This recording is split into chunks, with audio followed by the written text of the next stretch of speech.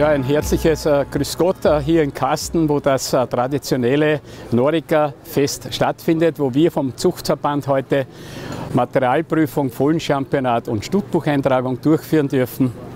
Und ich kann nur sagen, wenn Carsten ein Fest macht, dann kommen die Pferdefreunde, dann kommen die Züchter und dann kommen auch die Zuschauer, egal wie das Wetter ist. Heute ist es ja sehr durchwachsen, das werden wir noch ein paar Mal hören.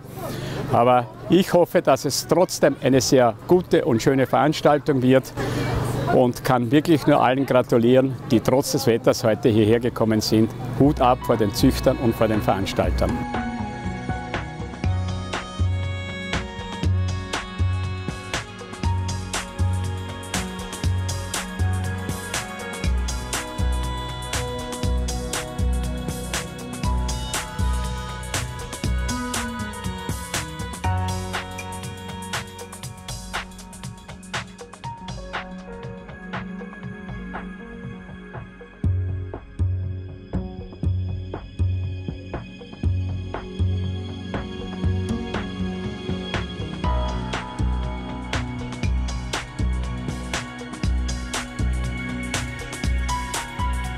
Mütterlicherseits dann Stemmervulkan Echo. Nero, der Ferdinand hat ja einige Jahre bei uns in Niederösterreich gedeckt, hat tolle Norika hinterlassen, etwas leichter im Kaliber, weniger Substanz, weniger Knochenstärke, aber überragend in der Bewegung. Und wir haben dieser Stute die Bewegungsnote 9,0 vergeben, also im Trab sehr gut, im Schritt 8,5, überragend die Mechanik und äh, trotzdem ebenmäßig der Körperbau und noch genügend Kaltbluttyp. Endnote und Ex-Equo mit einer weiteren Stute dann am dritten Platz 7,82. Herzliche Gratulation.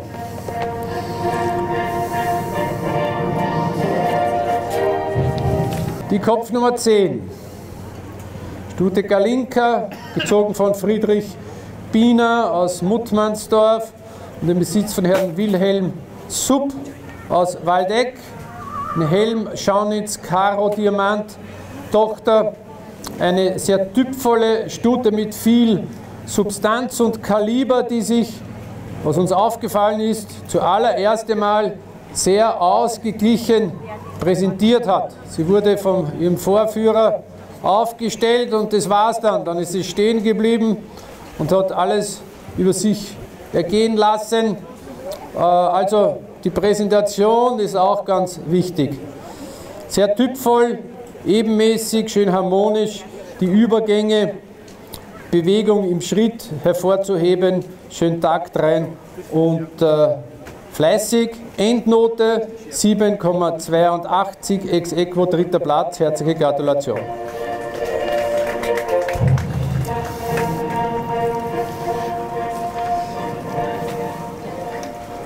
Und wir kommen zur Landesreservesiegerin 2018 und ich bitte vorzuziehen die Kopfnummer 12 Elisa. Die Elisa gezogen von Albert Taucher aus Oberösterreich, Ottnang am Hausruck und im Besitz von Herrn Gerhard Ringhofer, eine Manitou Nero, Tigervulkan, Rauchvulkan-Tochter, eine Stute vom Seitenbild wunderbar harmonisch und bergauf konstruiert, sehr rassetypisch, schönes Stutengesicht hervorzuheben, die Bewegungseigenschaften sowohl im Schritt als auch im Trab sehr energisch abfußend mit viel Elastizität in der Mechanik im Trab, leichte Abstriche vielleicht im Fundament, aber insgesamt eine ausgeglichene, rassetypische Norika-Stute mit auch viel Mütterlichkeit und Geschlechtsausdruck. 7,86 Punkte, schlussendlich zweiter Platz. Herzliche Gratulation.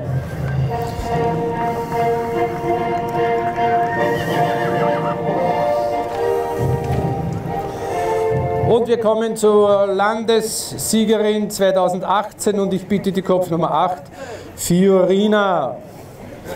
Franz Bruckner, aus Köchling kein Neuling im Geschäft, sondern seit Jahrzehnten in der Norweger Zucht intensiv als Züchter und Hengsthalter aktiv.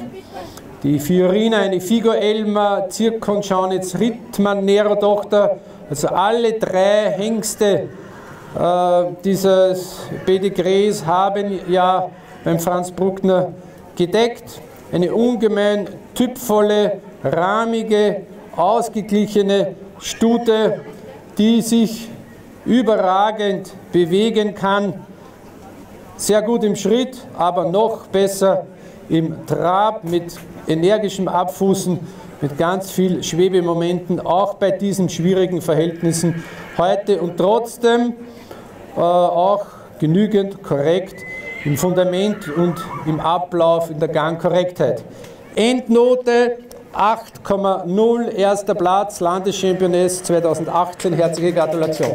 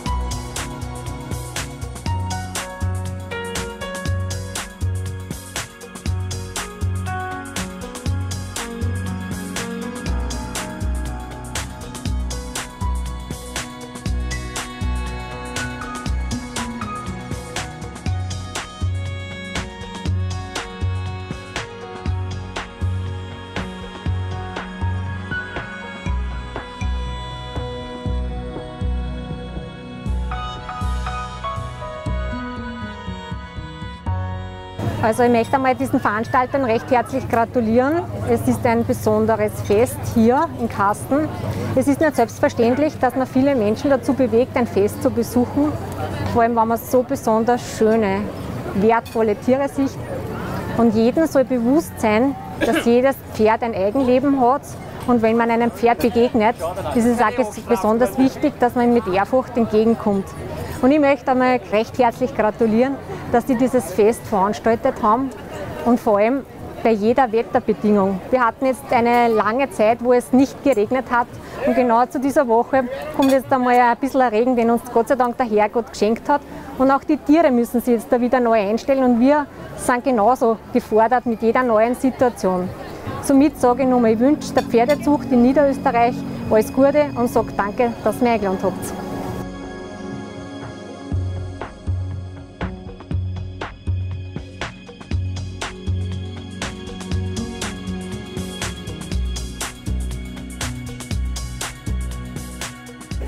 Die Kopfnummer 5, die Stute Romina von äh, Johann Baldauf, eine Einstein Nero Schöller Vulkan Machtdiamant Tochter, ein Pferd, das uns von der Galoppade gut gefallen hat. Wir haben im Galopp Note 8 gegeben, schön sprunghaft. Diese zwei, drei langen Seiten, die sie galoppiert ist, schöne sprunghafte energisch abfußende äh, Galoppade. Insgesamt dann die Endnote 7,4, dritter Platz. Herzliche Gratulation. Die Preise werden übergeben von Frau Landtagsabgeordnete Frau Doris Schmiedl, dem Kammerobmann Herrn Anton Hieger und vom Obmann des Zuchtverbandes Johann Reisenthaler. Herzliche Gratulation. Geritten wurde das Pferd von Frau Alina Hirsch. Der zweite Platz geht an die Kopfnummer 11. Kopfnummer 11, die Braunflecktiger Stute, Alina von der Frau Maria Hössinger und geritten von der Bettina Ottenschläger. Ich habe es bei der Stutenkörung schon gesagt, eine Stute, die sich sehr gut bewegen kann, sehr aktiv in ihrer Gesamterscheinung, mittlere Größe. Ich denke, ein klassischer äh, Reitnoriker, Hoheit-Vulkan, Westelmer, Tauern-Vulkan, die Abstammung, die überall, ich möchte sagen, gleichmäßig äh, gepunktet hat, zwischen 7 und 8 in den Noten war. Endnote 7,5, zweiter Platz, herzliche Gratulation.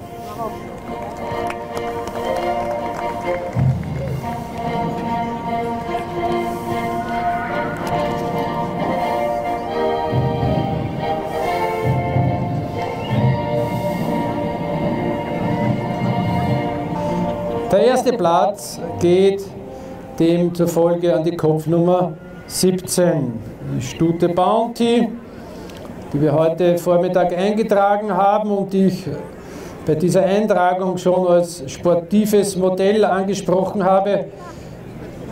Besitz von Herrn Johann Baldauf und geritten von unserer Norika-Referentin bei den ländlichen Reitern, die Manuela Baldauf eine Zoller Schaunitz Schimmervulkan Daxa Vulkan Tochter, die vielleicht äh, beim Galoppieren sich nicht recht äh, zufrieden gezeigt hat mit dem Boden, aber in der Trabmechanik, vor allem auch im Ablauf des Schrittes und dann ihr reitpointiertes Gebäude schlussendlich zu diesem Sieg geführt haben. Endnote 7,6 Erster Platz, herzliche Gratulation.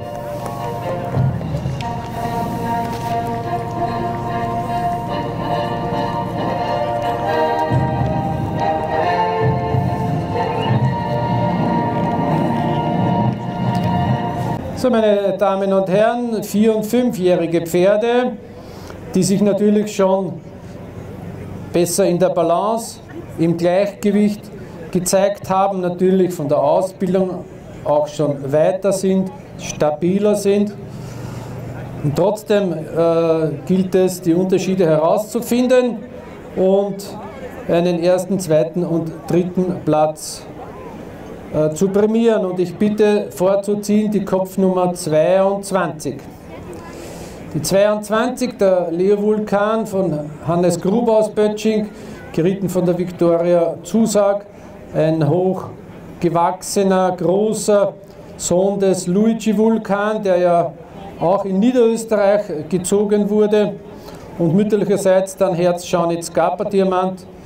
Dieser Leo Vulkan äh, hat einigermaßen Probleme gehabt mit dem tiefen Boden hier und konnte sich nicht wirklich voll entfalten, aber ein Pferd, das uns im Trab gut gefallen hat. Trab die Note 7,5 und Endnote 7,1. Dritter Platz, herzliche Gratulation.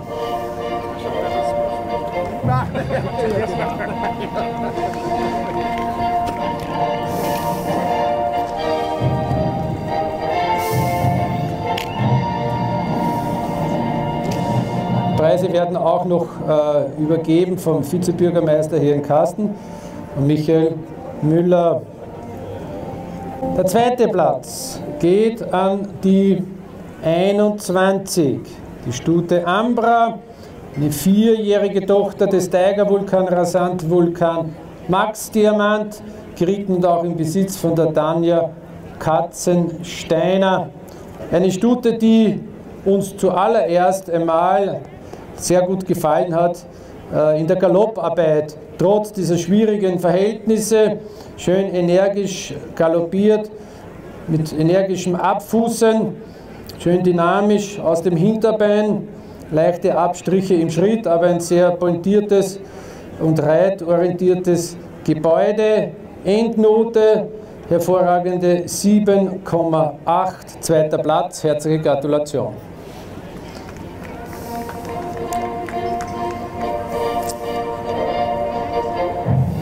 Und der erste Platz geht an die Kopfnummer 23. Ronald Elmar. Schwarzfleck Tiger. Geritten von der Ursula Rusitschka und im Besitz von Frau Katja Siegert aus Maria Enzersdorf. Ein Pferd, das hier, möchte mal so sagen, aufgrund der Leichtfüßigkeit, aufgrund der guten Balance, in welchem sich das Pferd befindet, der Wallach befindet, äh, eindeutig im Vorteil war. Schön äh, elastisch der Trab, auch das Zulegen deutlich erkennbar. Die Galoppade vielleicht etwas flach gesprungen, aber trotzdem energisch abfußend. Ein sehr reitpointiertes Gebäude, wunderbare Sattellage, schöner langer Widerriss, selten zu sehen. Äh, beim Norika Endnote 8,0, erster Platz, herzliche Gratulation. Bravo.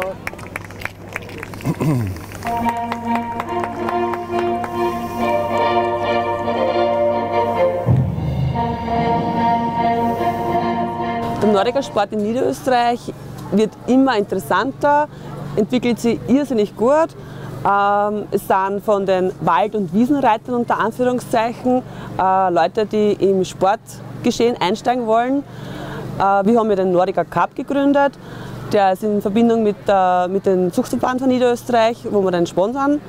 Und der ist für ähm, lizenzfreie Reiter und für Lizenzreiter. Somit kann er, hat jeder die Möglichkeit, dass er einsteigen kann damit. Und kommt irrsinnig gut an. Er wird österreichweit ausgetragen. Es sind auch Leute von der Steiermark, Oberösterreich dabei, Niederösterreich sowieso.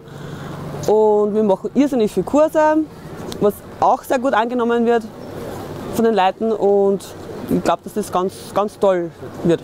Der Norika ist unbedingt geeignet für die Reiterei. Man kann alles mit ihm machen, von Wanderritten angefangen, über das Turniergeschehen, Springen, Vielseitigkeit, Dressur, das passt alles. Und es wird auch von den Leuten sehr gut angenommen. Das Publikum ist da, die freuen sich, wenn sie einen Norika sehen und auch die Richter, das passt.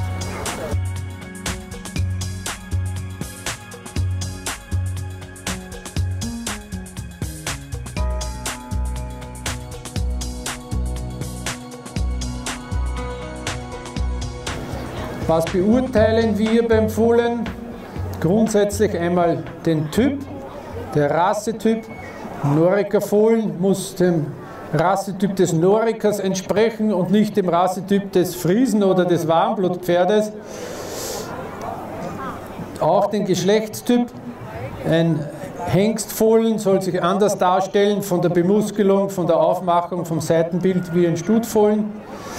Dann die zweite Note ist die Gebäudenote und die Korrektheitsnote. Und die dritte Note ist die Bewegungsnote. Diese drei Kriterien führen zu einer Unterscheidung und zu einer Rangierung. Der dritte Platz in dieser kleinen Gruppe geht an die Kopfnummer 24. Bitte vorziehen. Die 24 Eros Nero von der Familie Ableitinger, Ebenwald Nero Sohn, Sternvulkan Marius Nero. Ein Fohlen, das uns zuallererst einmal aufgrund seiner guten Bewegung gefallen hat. Schön, locker, energisch, dynamisch. Die Bewegung momentan im Körperbau, wie wir sagen, etwas auseinandergewachsen. Sie ist ja am 13. Februar geboren etwas überbaut zurzeit und äh, ja, dadurch nicht ganz harmonisch im Körperbau, aber vom Typ her und von der Bewegung her sehr ansprechend. 24 Punkte insgesamt. Herzliche Gratulation. Dritter Platz. So, bitte einordnen und wir kommen zum zweiten Platz und ich bitte vorzuziehen die Kopfnummer 25. Eros Nero von der Familie Schicho, Thomasberg, am 8. März geboren, Edelstein Nero Sohn, mütterlicherseits Saphir Vulkan Monaco Nero. Ein großgewachsener, weit entwickelter Sohn des Edelstein Nero, der sich auch sehr gut zu bewegen wusste, kaum Abstriche auch im Exterieur, sehr korrekt, die Gliedmaßen gerade gestellt. im Stand und im Gang. Notensumme 24,5, zweiter Platz. Herzliche Gratulation.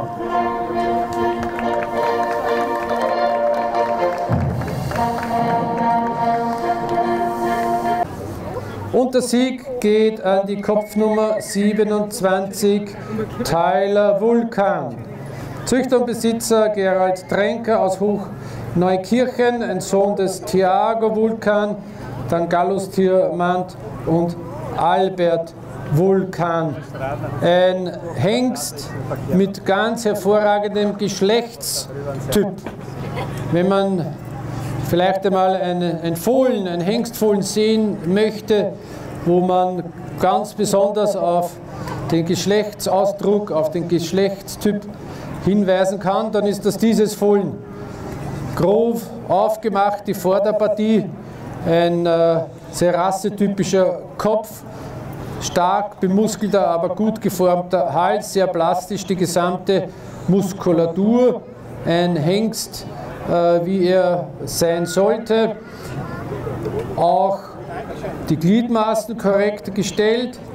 Die Bewegung hätten wir uns vielleicht etwas energischer, etwas lockerer gewünscht, aber insgesamt Notensumme 25,0, erster Platz, Landeschampion 2018. Herzliche Gratulation.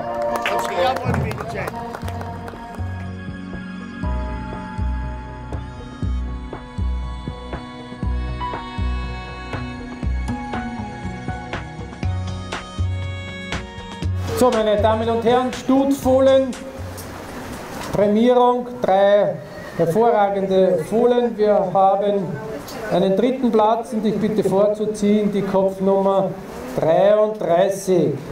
Ein junges Fohlen am 16. Mai geboren, aber sehr, sehr harmonisch. Blauschimmel, Mohrenkopf, sehr harmonisches, ebenmäßiges Fohlen mit ganz lockerer, schöner, leichtfüßiger Bewegung ein sehr hoffnungsvolles Stutfohlen, wie ich meine. Ebenwaldner, Figo, Elmar Rittmann, Nero, die Abstammung 25 Punkte, dritter Platz. Herzliche Gratulation an die Familie Ableitinger Martinsberg.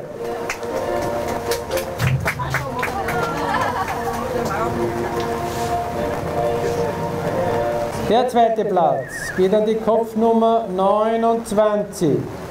First Lady Tanja Katzensteiner mit einem Fohlen des Tiger Vulkan, Fox Elmer, Rennero. Ein Fohlen, das uns von der Bewegung her überragend gefallen hat. Bewegungsnote 9, ganz energisch, ganz dynamisch, mit viel Elastizität ausgestattet, auch vom Typ her sehr ansprechend, ebenmäßig im Körperbau, vielleicht etwas mehr Stut Stutengesicht könnte das Fohlen haben, aber insgesamt ganz vorzüglich konstruiert. 25,5 Punkte, Vizio-Championess 2018, herzliche Gratulation.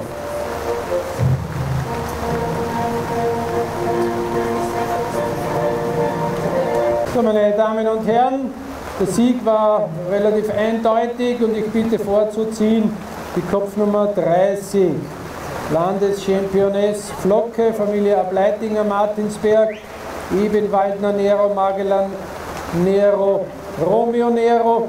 Ein Fohlen mit sehr, sehr viel Rassetyp, eine klassische Norriger Stute, Substanz, Kaliber, trotzdem edel, ausdrucksvoll, viel Charme, ein hervorragendes Stutengesicht und auch eine gute Bewegung, raumgreifend, locker, sehr korrekt im Fundament. 26 Punkte, erster Platz, Landeschampioness 2018. Herzliche Gratulation, Familie Ableitinger.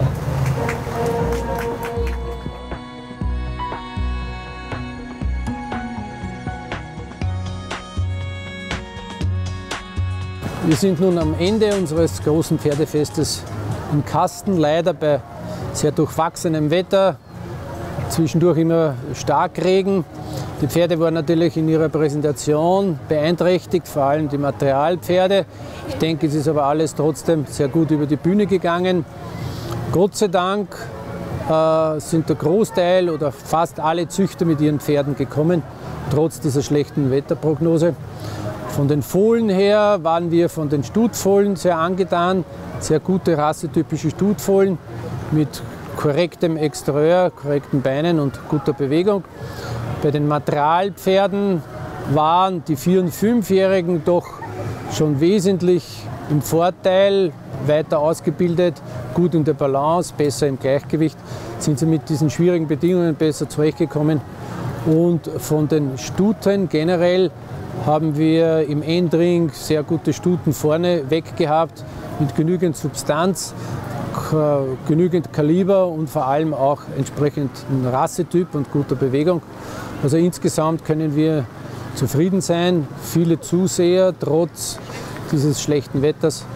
Und äh, ja, insgesamt eine schöne Veranstaltung. Wir wünschen uns, dass wir in zwei Jahren dann bei der nächsten, beim nächsten großen Pferdefest in Kasten besserem Wetter wieder hier sein können und unsere Pferde präsentieren.